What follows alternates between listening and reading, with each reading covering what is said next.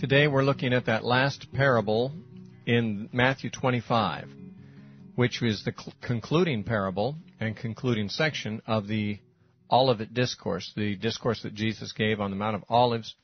And these parables in this chapter, there are three parables. All of them have one message, and that is the second coming of Christ and the need to be prepared for it. In the first of these parables, the parable of the ten virgins, it was simply a general exhortation to be ready for a long delay because he said there would be a long delay. And the virgins who were not prepared for that were sorry when they were not ready and Jesus came or the bridegroom came. The second parable, the parable of the talents, actually expands upon the responsibilities of the servants as they wait for their Lord to come and shows that they have been given various abilities to work for their master and to produce something for his kingdom, and they will be proportionately expected to uh, present the the works, uh, the fruit of their labor when he comes back, and they will be rewarded for faithfulness. Now we come to the last parable, and this also focuses on how the servants are to behave while they're waiting for Jesus to come back. However, this parable starts a little differently. The other two parables in this chapter started with the assignment and then with the performance of the duty, and then the, the Lord comes back and uh, assesses and settles with uh, the servants or the bridesmaids. In this case, the parable begins with the second coming, and we see the judgment take place, and then uh, it, it, sort of it sort of glances back over the behavior of those who stand in the judgment, and, uh, and so we get sort of a glance back at how they behaved, and they are judged for it here as in the other parables. The parable begins in Matthew 25:31. We usually call it the parable of the sheep and the goats. Jesus said, "When the Son of Man comes in his glory, and all the holy angels with him, then he will sit on the throne of his glory. All the nations will be gathered before him, and he will separate them one from another as a shepherd divides his sheep from the goats. And he will set the sheep on his right hand and the goats on his left. Then the king will say to those on his right hand, Come, you blessed of my father, inherit the kingdom prepared for you from the foundation of the world. For I was hungry, and you gave me food. I was thirsty, and you gave me drink. I was a stranger, and you took me in. I was naked, and you clothed me. I was sick, and you visited me. I was in prison, and you came to me. Then the righteous will answer him, saying, Lord, when did we see you hungry, and feed you, or thirsty, and give you drink? When did we see you a stranger and take you in, or naked and clothe you? Or when did we see you sick or in prison and come to you? And the king will answer and say to them, Assuredly I say to you, inasmuch as you did it to one of the least of these, my brethren, you did it to me. Then he will also say to those on the left hand, Depart from me, ye cursed, into everlasting fire, prepared for the devil and his angels. For I was hungry, and you gave me no food. I was thirsty, and you gave me no drink. I was a stranger, and you did not take me in, naked, and you did not clothe me, sick and in prison, and you did not visit me.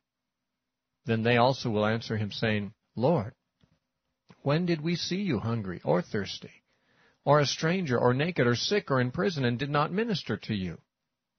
Then he will answer them, saying, Assuredly I say to you, inasmuch as you did not do it to one of the least of these, you did it not to me. And these will go away into everlasting punishment, but the righteous into eternal life. Now it's interesting, we generally call this the parable of the sheep and the goats. And the reason is because Jesus said he will divide the nations into two categories, like a shepherd divides sheep from the goats, putting the sheep on his right hand and the goats on his left hand. After that, however, the, the, the parable has nothing to do with sheep or goats. Those on his right hand are no longer compared with sheep, and those on his left hand are no longer, uh, you know, called goats. In fact, they do things that neither sheep nor goats could do. This is a, a, metaphor shift here. Uh, the separation of the nations into two categories is likened to a shepherd separating sheep from goats in his flock.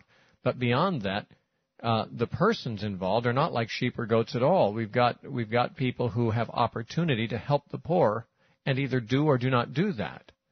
And of course, sheep are not in a position to help people at all. So, uh, what we have here is a few verses where he likens this judgment to that separation of sheep and goats that would be commonly seen among shepherds' herds. But then that imagery is dispensed with immediately and it's back, it's just a courtroom scene. There's a judge, a king, and there's per- persons uh, who are defendants on trial. Some of them are vindicated and rewarded, some of them are punished. And of course, this agrees very much with the high point of each of the previous two parables. The bridegroom came, and the five virgins who were wise entered into the joy of the wedding feast. The five who were foolish were punished. Uh, in the parable of the talents, the, the master came and he judged. The faithful stewards were rewarded. The unfaithful steward was punished. Here we have the, the nations of the world under consideration. Because Jesus said, the Son of Man, when he comes in his glory and all his holy angels with him, will sit on the throne of his glory, and all the nations will be gathered before him. And he'll separate them one from another, as a shepherd divides his sheep from the goats. Now, all the nations will be brought before him here for this judgment. This, unlike the previous parables, this parable is not about the judgment of Christians. This is a judgment of the nations as a whole. That is, of the whole world. Now, some have made, I think, a mistake in saying that what is happening here is not the final judgment. But this is, of course, the position of someone who believes there will be a thousand year millennium after Jesus comes back. They say, well, here Jesus comes back and he calls the nations before him, but according to this view, he's going to send some into the millennium, and some will not be in the millennium. And uh, so he judges nations, they say, as categories. For example, Great Britain or Babylon or Spain or Assyria or uh, you know Edom or Germany or America. These are nations, and that uh, the argument that is given by some is that this is not a judgment of individuals determining their final eternal destiny. This is actually a judgment upon national entities and determining whether they will be permitted to enter into the millennial reign and, and continue there for a thousand years before the final judgment, or whether they will not be allowed to do so. Now, this, I think, makes some serious mistakes. But before I tell you what I think the mistakes are, I will continue. Uh, there are some who believe that the nations that have treated the Jews well will be permitted to enter into the millennial kingdom, and that the nations that have not treated the Jews well will not be. And that is the reference some understand to be to my brethren. Jesus said, Inasmuch as you've done it unto the least of these, my brethren, you've done it to me. They say, well, Jesus was Jewish. The Jews are his brethren. And therefore, the scenario that is painted by some is that Jesus returns, he gathers all the nations and judges them as nations, not as individuals, but as nations. And he reviews their history of their treatment of the Jews. And did they treat the Jews well? Well, then good. They get to go into the millennium and, and have an ongoing career for another thousand years before the final judgment at the end of the world. If they have not treated the Jews well, this is already curtains for them. Those nations will not go into the millennial reign of Christ. This view, which is held by many, I suspect is one of the most poor interpretations of any passage of Scripture I've ever seen applied, uh, for, for several reasons. First of all, the only thing in its favor is that it says he will call all the nations before him and separate them. And and uh, that is argued by some to mean well that means you know as individual nations, not as individual citizens. But that doesn't mean that at all. When Jesus said go into all the world and make disciples of all nations, he didn't mean the whole countries would become disciples, but that individuals within those countries would become disciples. A nation cannot become a disciple, although a nation could be made up predominantly of disciples, perhaps, but disciples are individual people.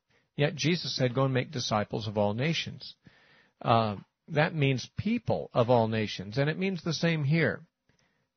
All nations will be gathered before him means it won't just be a judgment with Israel. It'll be a nation, uh, an international body. It'll be all people from all nations will be judged at the second coming of Christ. Now, as far as the reference to them being judged as to whether they go into the millennium or not, this interpretation is made up of whole cloth as an exegesis of necessity by the people who use it. Because the passage clearly does not teach that there will be a millennial kingdom, in fact seems to teach that there will not be one, and there are many people who believe in a future millennium kingdom, they have to come up with this device to say, well, these people are being sent not to heaven and hell, but into the millennium. because they believe there's this intervening thousand years between the second coming of Christ and the actual end of the world. This, however, doesn't agree with the parable itself. Notice the righteous are not sent into a millennial reign, they are sent somewhere else. It says in verse 34, the king shall say to those on his right hand, Come, you blessed of my father, inherit the kingdom prepared for you from the foundation of the world. Was that the millennial kingdom? No. In verse 46 it says, The righteous go into everlasting life. This kingdom is not a thousand year reign. This is everlasting life. This is eternal life. This is an eternal condition, not a temporary condition. As for the wicked, it does not say that they are deprived of involvement in the millennium. It says that they are deprived of eternal life. He says in verse 41, He'll say to those on the left hand, Depart from me, you cursed, into everlasting fire, prepared for the devil and his angels. And again in verse 46, These will go away into everlasting punishment. So what is at stake here? Is it whether a nation as a whole will have a, a, a right to go into the millennium? No, it's about individuals going to heaven or to hell, going into eternal life or into eternal punishment. There's no millennium in this passage. And the only reason anyone would import it is because they have a theology that requires them to import it. That theology may be open to question when we see that Jesus did not support it. Jesus indicated when he comes back, he'll sit on his throne and he will judge all people, and some will go into everlasting punishment, some will go into eternal life, and that'll be the end of it. There's nothing more to, to look forward to after that. Everyone has now gone into their eternal condition, and that's all that's left. Now, something here also that's interesting is that we see the, the righteous and the wicked judged at the same time. There are some who believe that the righteous will be raptured seven years before the second coming of Christ. And when they are raptured, of course, they will stand judgment at a separate tribunal, a separate time, and then later on, at the end of the time, when Jesus comes back or whatever, uh, then the wicked will be judged. But in this story, Jesus has all people being judged at the same time. When is that? When the Son of Man returns in his glory, and all the holy angels with him. Then he'll bring all people, all the nations before him. Some will be saved, some will be lost. This is a general judgment of all parties, and it all happens at the same time, not at different times. Now, what about this suggestion that the brethren of Jesus referred to here refers to the Jews and that people are going to heaven or going to hell based on how they treat the Jews? well, that is really a mistaken interpretation, it would seem to me, because Jesus never referred to the Jews as his brethren. In fact, there were even some Jews, although he was Jewish, there were some Jews who were very closely related to him, even his siblings, and he didn't refer to them as his brethren on one occasion, his mother and his brothers came to him in Mark chapter 3 and said they wanted to see him. A messenger brought this message to Jesus. He said, Well, who are my mother and who are my brothers? He, he looked around his disciples and said, Behold, my mother and my brothers. He said, For whoever does the will of my Father in heaven, he is my mother or brother or sister. In other words, Jesus said, My brethren are those who are obedient to my Father. And that would be, of course, his disciples. We call them Christians today. His brethren were not the ethnic Jews in his teaching. His brethren were those who were his followers, the Christians. So, to do such things to his followers, to the Christians, is what is at stake here. So we see that the sheep, or the good guys, have been in situations where they have found Christians in need, naked, needing clothing, hungry, unsheltered, uncared for. And these people have had compassion upon them and have served them. And then we have persons who have encountered the disciples of Jesus in need and have not served them in this way. Now, some have argued that this seems to argue for an eternal judgment based upon works. And some find this very uncomfortable because they say, well, wait a minute, we're not saved by works, we're saved by faith. But I would point out to you that there are many times in the Bible which speak of the judgment, and it is always a judgment based on works. And that is true regardless of whether it is Christians or non-Christians being judged. The judgment in Scripture is always one that takes works into consideration. Jesus said in Matthew 16 and verse 27, For the Son of Man will come in the glory of his Father with his angels, and then he will reward each according to his works. Notice the Son of Man comes in the glory of his Father with his holy angels. Notice the first verse of Matthew 25:31. Then the Son of Man comes in his glory with all his holy angels. Okay, same thing. What happens? He will reward each one according to his works, it says in Matthew 16:27. This parable expands on it and tells what kind of works. Works of generosity, works of charity to his disciples. Now, there are many other places that speak of the judgment. Certainly the apostle Paul teaches that the judgment will be a judgment of works. If you'd like to consider this in Romans chapter 2, this would be only one place where this comes out. There are others. But in Romans chapter 2, beginning with verse 5, or verse 6, it says of God, He will render to each one according to his deeds. Eternal life to those who by patient continuance in doing good seek for glory, honor, and immortality, but to those who are self-seeking and do not obey the truth, but obey unrighteousness, indignation and wrath, tribulation and anguish on every soul of man who does evil, of the Jew first, but also the Greek. But glory, honor, and peace to everyone who works what is good, to the Jew first, and also the Greek. Now, notice, eh, in the day when God recompenses all men, he will recompense glory and honor and peace to everyone who works good. That is, who does good works. And to those who do evil, he will reward them with tribulation and anguish, indignation and wrath. So we have Paul and Jesus teaching the same doctrine. The judgment will be a judgment that takes works into consideration. What about another witness on that subject? How about Peter? Peter writes on this subject in uh, the, the first epistle of Peter.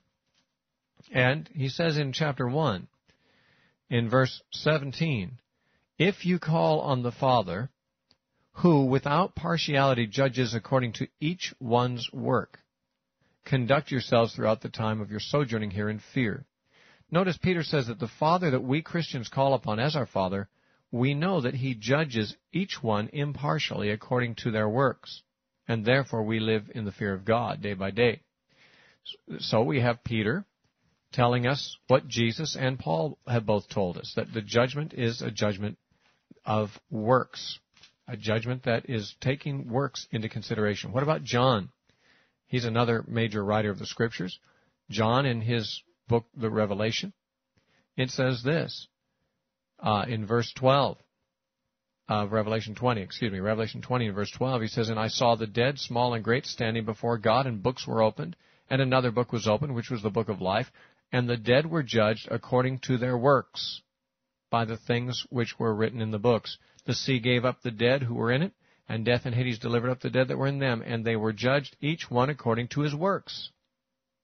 Right. So, everyone is judged on the day of judgment according to their works. This passage in Matthew 25 is not an exception. It is in tune with everything the scripture says on that subject.